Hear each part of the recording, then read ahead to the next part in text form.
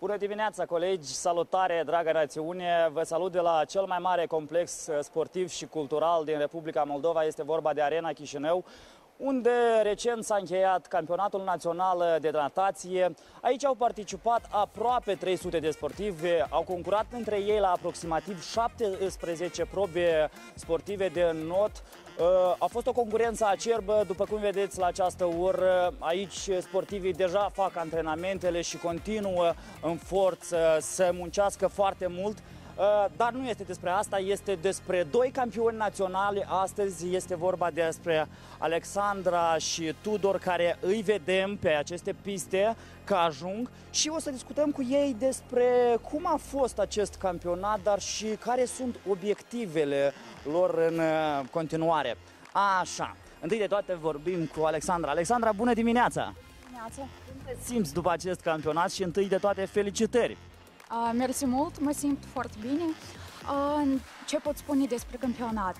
Eu sunt mulțumită și de aceste rezultate. Sunt campioană la distanțe 400, 1500, 800 stil liber și 400 mixt. Și sper că o să arăt rezultate încă mai bune. La fel sperăm. Tu ai abia 15 ani, cumva Uh, ești în forță la această vârstă și deții și titlul de maestru al, uh, al sportului și multiplă campioană națională. Cărui fapt se datorează toate aceste reușite până acum? Eu cred că 95% se datorează muncii și 5% se, se datorează talentului. În, eu chiar că am început să practic sport în o vârstă fragedă, la început eu am mers la cursurile de gimnastică ritmică, după asta la vârstă de 7 ani eu am început să practic not. Părinții mei mi-au au făcut cunoștință cu un antrenor emerit al școlii numărul 8, Semironici Valentina și eu am fost transferată într-o școală sportivă specializată numărul 8, unde la vârstă de 10-11 ani eu am început să practic în mod profesional. Și astăzi doamna Valentina încă mă întâlnează. La vârstă de 13 ani eu am obținut titlul de maestru al sportului și acum sunt membră a echipei naționale de notă Republicii Moldova. Alexandra, în continuare, care sunt obiectivele tale? Spre ce vrei să noți? Planurile mele de viitor sunt să de a continua studiile la liceu, de a continua să mă întâlnesc să fiu selectată în echipa națională de not a Republicii Moldova și ca să reprezint țara la competițiile oficiale internaționale. Alexandra, noi îți dorim mult succes în ceea ce faci și multă baftă. Așa, în continuare, noi o să mergem spre colegul ei, este vorba de Tudor. Tudor, bună dimineața!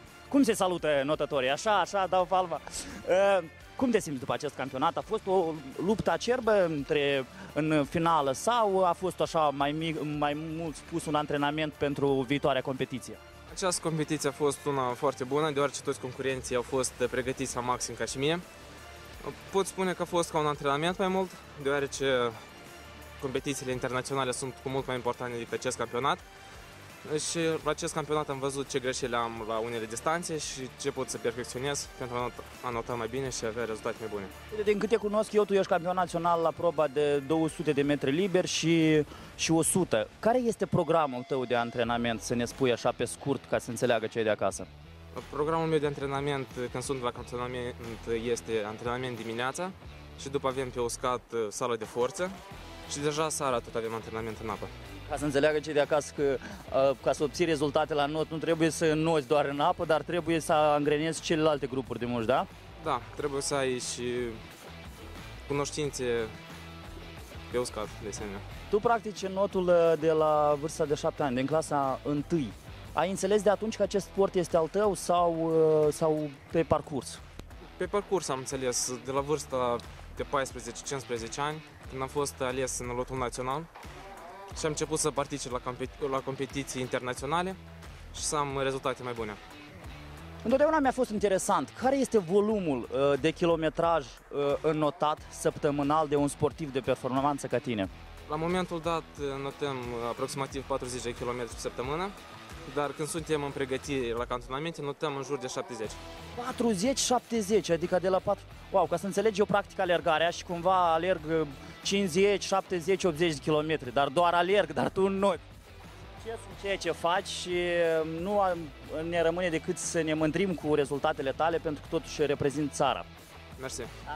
În continuare vorbim și cu arbitrul principal care a fost la campionatul național de natație, domnul Sergiu Postică. Domnule Postică, bună dimineața! Uh, Felicitări și dumneavoastră elevilor pe care i-ați avut uh, la acest uh, campionat. Uh, Fiind arbitrul principal, uh, au participat 300 de sportivi aproape. Nu am cum să nu vă întreb uh, ca, cum apreciați rezultatele sportivilor din acest an.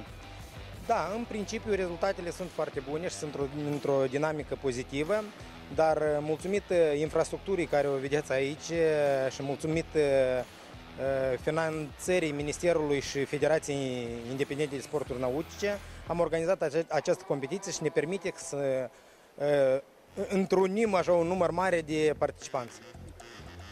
Cumva toți se întreabă care ar fi beneficiile acestui sport, pentru că cumva în ziua de azi sedentarismul este dezvoltat foarte mult, nu toți fac mișcare. Ne spuneți pe scurt care ar fi beneficiile notului atât timp cât avem infrastructură în țară, păcat să nu practicăm acest sport. Să spunem că notul este o, cea mai bună metodă, excelentă de a lucra musculatura tuturor mușchilor, da? Dar de aici reiese că este și creșterea ritmului cardiac, uh, avem uh, forța mușchilor, uh, formăm rezistența mușchilor, dar uh, în uh, linii generale putem spune că cel mai important lucru este dezvoltarea personală și profesională. Domnule Postică, care sunt următoarele obiective uh, ca dumneavoastră, ca antrenor și ca și arbitru, uh, pentru că urmează, ce cred eu, și alte competiții uh, de anvergură? Da, obiectivul principal uh, ar fi Jocurile Olimpice din Paris, care la moment unii din lotul național se antrenează peste hotare uh, în cantonament, uh, unii sunt pe loc, dar uh, clar că dorim să avem câțiva participanți uh, în capitala Franței. Uh, Mai departe mai avem niște competiții de calificare pentru aceste jocuri, plus uh, campionatul european de seniori, unde Sperăm că vom avea câțiva fina- semifinaliști și finaliști, dar să nu uităm și de tân- tânăra generație care va uh, concura la Campionatul Europei de juniori și Balcaniada Europeană. Vă mulțumim mult pentru aceste rezultate, succes în tot ce faceți. Uh, Dragi telespectatori, nu îmi rămâne decât să felicit și ceilalți uh, sportivi uh, cu rezultatele obținute la Campionatul Național uh, de Natație, dar și antrenorii acestora. Succes în tot ce faceți uh, și, dragi telespectatori, practicați sportul, uh, nu neapărat în notul, dar cel care vă place cu adevărat. Să știți că nu degeaba mă vedeți așa echipat. uh, uh, Am decis să fac și eu o tură de not în această dimineață, așa că în continuare urmăriți câteva imagini, dar eu mă pregătesc să sar într-un bazin uh, olimpic, care este unic în uh, țara noastră, având o lungime de 50 de metri, așa că vizionare plăcută să aveți.